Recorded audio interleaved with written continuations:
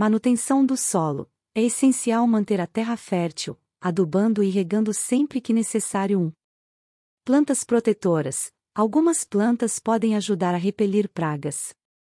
Por exemplo, salsa para repelir a mosca da cenoura, hortelã para repelir formigas e moscas, manjericão para repelir moscas e mosquitos, endro para repelir pulgões, e alecrim para repelir caracóis, mosquitos e insetos em geral 2.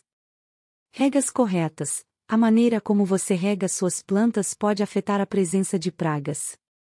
Regue suas plantas de forma adequada 1. Controle biológico. Use inimigos naturais das pragas, predadores, parasitoides e patógenos, plante culturas resistentes às pragas, e utilize técnicas como o controle mecânico, colheita manual, e o controle químico, uso de inseticidas e fungicidas biológicos.